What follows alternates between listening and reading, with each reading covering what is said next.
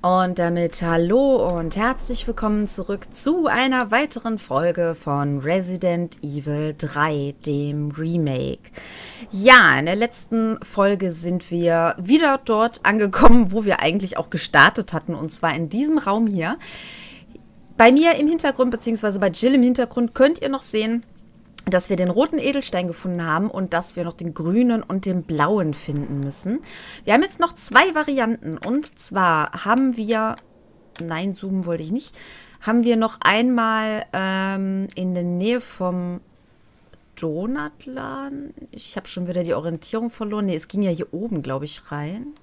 Genau, da oben äh, haben wir noch den Feuerlöschhydrant. Den möchte ich jetzt als erstes machen. Und wir haben noch eine Ecke, wo wir die Zombies stehen gelassen haben. Das war allerdings jetzt hier nach dem Feuerhydrant. Das war hier oben, glaube ich. Da müssen wir dann auf jeden Fall auch, ja, mal gucken, ob wir da weitermachen können. Ich sehe gerade hier unten war die zugekettete Tür. Wir müssen auf jeden Fall gucken, ob wir irgendwo einen Bolzenschneider oder irgendwas finden. Äh, das ist alles aufgeladen. Ja, dann würde ich sagen, erstmal den Hydranten machen. Ich will nicht sagen, weil normalerweise dann das Gegenteil eintritt, aber mit der Steuerung jetzt, also ich habe jetzt Typ C eingestellt, das kann man nämlich einstellen, komme ich wesentlich besser zurecht als mit der anderen Steuerung. Typ A war ja automatisch eingestellt. Ich hoffe jetzt nur, dass hier irgendwo die Zombies wieder aufstehen, während ich hier rumlaufe. Das wäre nämlich etwas doof. So, jetzt müssen wir hier mal eben gucken. Ähm, das war da hinten, genau. Da muss ich jetzt nur ein bisschen vorsichtig sein. Ich denke aber, dass die erst durchgebrochen kommen, wenn ich da hinten ähm, das Feuer gelöscht habe. Sieht man nämlich ganz so aus. ah, gut. Ja, so einen dicken Schlauch mal eben mit der Handtasche mitgenommen. Kein Thema. Haben wir den noch? Nein, sehr gut. Dann haben wir jetzt hier noch ein Plätzchen frei. Repair. Ja, ich würde auch gerne mal ein paar Sachen äh, reparieren lassen.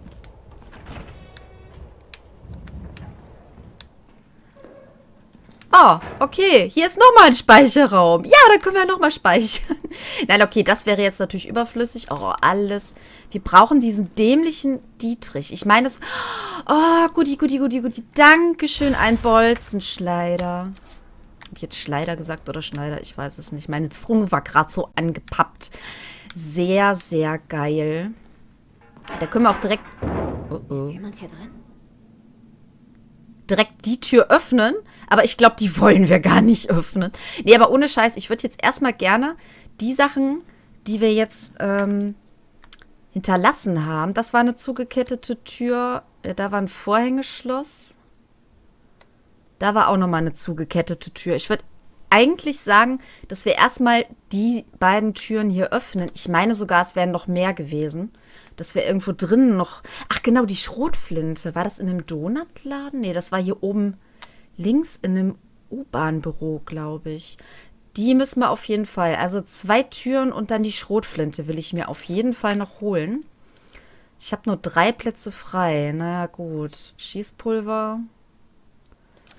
Draußen werden jetzt wahrscheinlich noch eine Menge Zombies hier auf mich warten. Gehe ich mal von aus.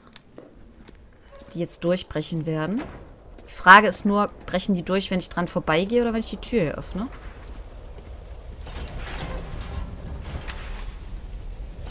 Der liegt noch da, okay.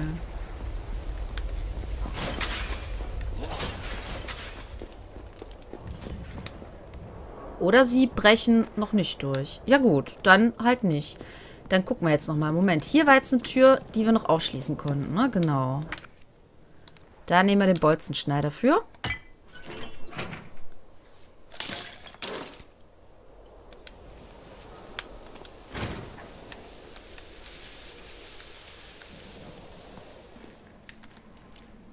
Klopapier. Ach nee, es sind Küchenrollen. Aber egal, Küchenrollen sind auch komplett ausverkauft aktuell, wegen der Corona-Krise. Ein Schmuckkästchen. Sehr gut, das können wir uns direkt schon mal angucken. Ich hoffe, dass da, äh, nein, untersuchen. Ich hoffe, dass da jetzt auch nochmal so ein Ding drin ist. Ja, perfekt. Okay, dann können wir gleich nochmal zurückgehen und den blauen auch einsetzen. liegen ja doch bestimmt noch irgendwo Leichen rum oder so, ne? Ah, ich traue dem Braten hier nicht so recht. Ich meine, wer die Resident Evil Spiele kennt, weiß, was ich meine. Hochwertiges Schießpulver. Wusste ich doch, dass wir das auch nochmal bekommen.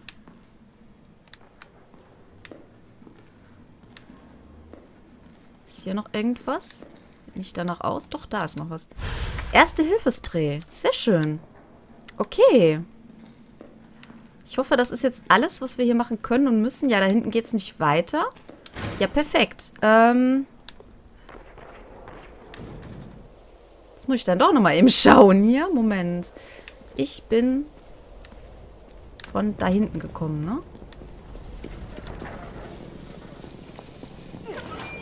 Genau, hier waren die zerfledderten Leichen, da kam ich her.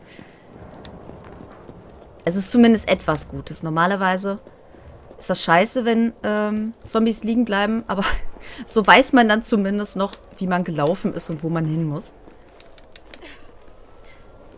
Ich habe normalerweise, also im richtigen Leben, wahnsinnig guten Orientierungssinn. Aber wenn ich Resident Evil spiele oder solche Spiele, da ist es irgendwie für einen Arsch. Ich weiß auch nicht, warum. So, Moment, da machen wir jetzt ähm, einmal das hochwertige Schießpulver. Kombinieren wir jetzt einmal mit dem normalen. Dann haben wir nämlich schon mal die Flintenmunition. Die legen wir jetzt erstmal noch da rein. Wir holen uns zwar, obwohl, naja, wir holen uns die Flinte. Moment, wir holen uns die Flinte. Wir machen das anders. Wir legen das Sturmgewehr rein und die Munition und das erste Hilfespray. So. Und dann werden wir nämlich gleich die Schrotflinte ja noch holen. Wir hatten jetzt nur keinen Platz mehr, um alles mitzunehmen. Und werden jetzt noch mal eben gucken, dass wir den hier reinlegen können. Dann brauchen wir jetzt noch einen grünen folglich. Was kriegen wir denn jetzt? Uh, wir haben noch keine Schrotflinte, aber wir kriegen schon einen taktischen Schaft für die Flinte. Sehr geil. Ich würde eigentlich schon fast sagen, das nehmen wir mit. Weil wir haben ja jetzt noch fünf Plätze frei. Dann können wir das direkt an die Schrotflinte dran machen. Ah, guti, guti, guti. Sehr, sehr geil. Ähm, soll ich jetzt nochmal speichern? Ja, komm. Wir stehen jetzt gerade schon mal hier. So, nehmen wir mal den ersten. Nein, doch, ich will den überschreiben. Ich mache immer so zwei, drei Spielstände und überschreibe die dann. Eigentlich ist es natürlich Blödsinn. War ich hier eigentlich schon mal? Ne, habe ich noch nicht geguckt, aber hier gibt es auch nichts, wie es aussieht. Okay. Ähm, eigentlich ist es Blödsinn, so viel zu speichern, aber pff, ich meine, das ist die erste Runde, wo man mal durchschaut, äh, wie alles ist und was neu ist und was vielleicht auch schwer ist und so weiter. Und da können wir dann auch einmal, lieber einmal mehr speichern als zu wenig, bevor wir den ganzen Mist wieder alles neu machen müssen.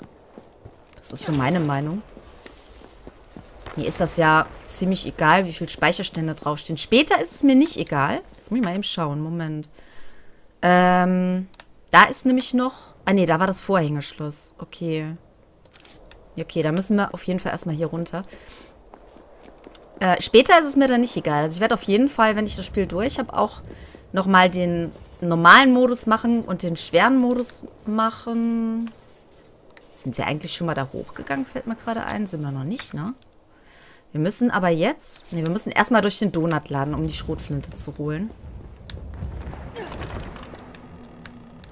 Ähm, Jungs, steht ihr jetzt auf?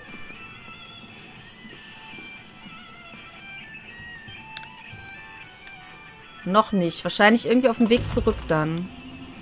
Könnte ich mir gut vorstellen. So, Moment. Hier war das, genau. Oh, sag mir jetzt bitte nicht, dass Hunde dahinter sind. Ich hasse Hunde. Und ich weiß, dass die irgendwo in diesem Gebiet waren im Original. Und ich denke, dass sie auch hierbei sein werden. Oh Gott. Das ist erstmal ein Zombie. Ich traue dir nicht.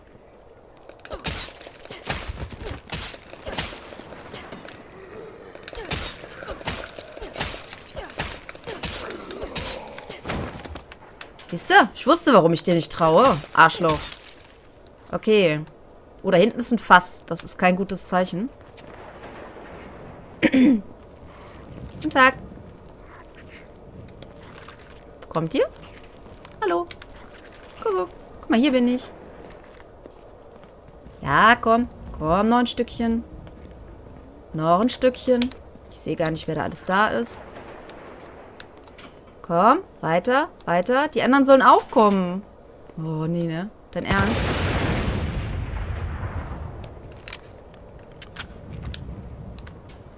Ja, jetzt kommt ihr Penner. Das war so klar. Also ich habe hier eine andere Erfahrung gemacht, aber es das heißt ja mal, Frauen kommen immer später, ne? War da nicht noch ein dritter? Okay, die langsam.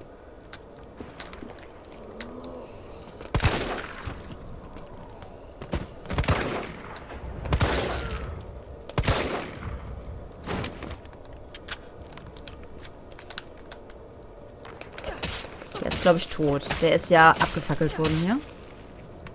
Wer den, äh, das Remake vom ersten Teil kennt, weiß, was ich mit abgefackelten meine. Ich wollte aber eigentlich die hier gucken, aber die scheint tot zu sein. Okay. Gut, wir haben noch 45 übrig. Das ist okay. Du bist aufge... Oh, sehr schön. Wir haben jetzt ein bisschen mehr übrig. Du bist aufgefressen worden, aber dir traue ich auch nicht. okay, gut. Nee, der hat nur noch was... Ah, eine Handgranate. Okay. Haben wir hier irgendwas zum Öffnen? Nee, ne?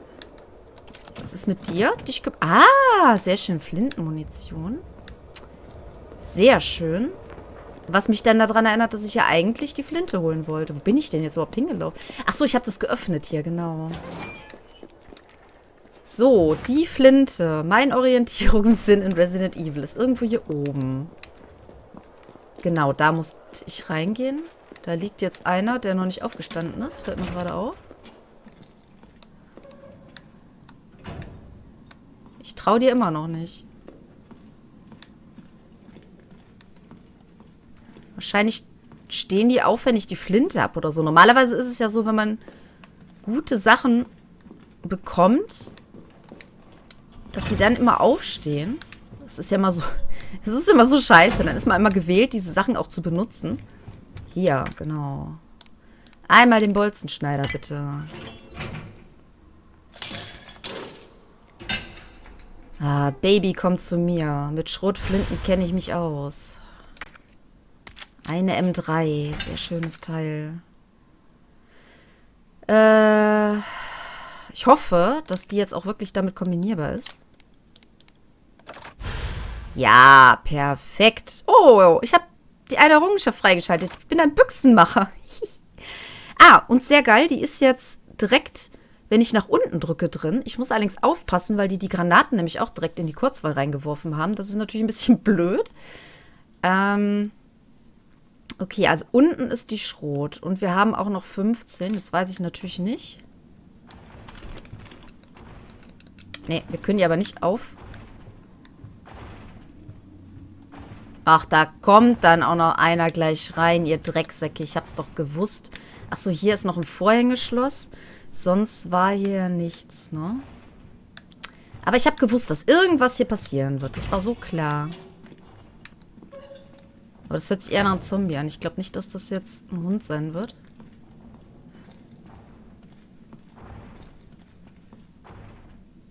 Ne, der klopft noch, oder? Komm. Habe ich Ihre Schrotflinte, Herr Officer? Es tut mir leid. Oder eigentlich auch nicht.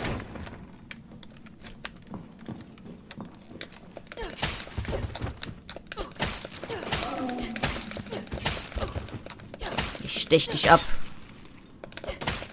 Egal, ob du ein Hüter des Gesetzes bist oder nicht. So, okay. Ähm, dann muss ich jetzt aber trotzdem noch mal eben... Achso, jetzt zeigt er mir die... Äh, Moment.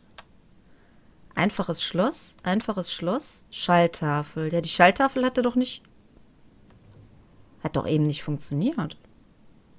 Ja, wir müssen ja sowieso wegen dem einfachen Schloss noch mal wiederkommen. Da ist aber keine Freunde dabei, oder? Ach, das war der, der hier drauf lag. Ah, ich habe gedacht, der kommt erst wieder, wenn ich runtergehe. Okay, okay. So, jetzt schauen wir nochmal eben auf der Karte. Da oben sind wir noch nicht gewesen. Ähm, das war die Garage. Das waren auch die Schlösser. Ja. Unten sind wir auch nicht, aber unten kommen wir, glaube ich, gar nicht rum, so wie es aussieht. Im Donutladen haben wir noch nicht alles gemacht. Ach so, da war noch ein einfaches Schloss. Denkmal, einfaches Schloss. Ach so, Denkmal, das ist hier. Ja, gut. Ja, dann bleibt uns eigentlich nichts anderes übrig, als nochmal hier oben rumzulaufen. Da ist jetzt aber keiner. Da ist nichts zum Draufschießen, oder? Doch, da.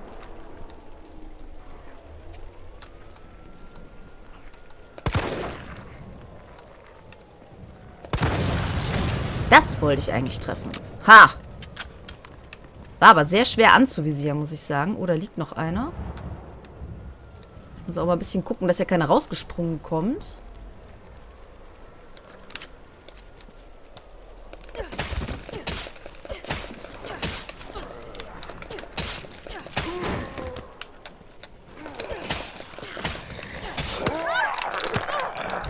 Ah! Hallo, ich habe doch A gedrückt. Das war nicht die Pistole, die ich haben wollte.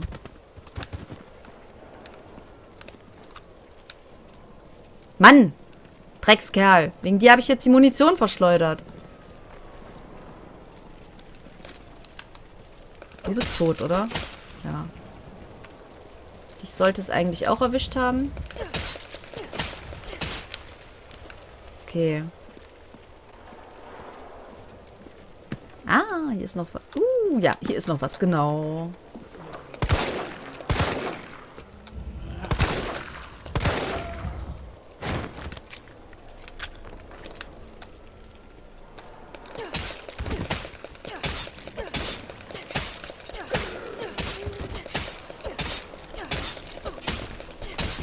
Zerfledder ich dein Gesicht oder was?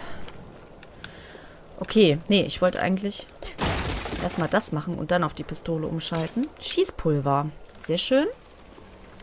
Schießpulver und Munition kann man immer gebrauchen. Wobei ich glaube, bei Schießpulver ist jetzt nur ein Gefühl, aber ich glaube, bei, Schieß, bei Schießpulver kommt ein bisschen mehr raus.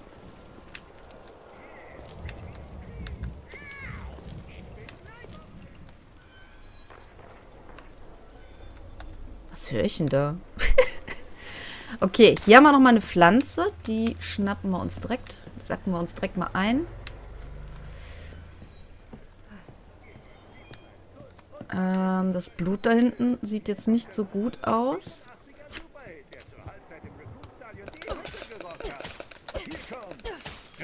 Aber ich glaube, das ist nur, dass wir das dann hier einsammeln können.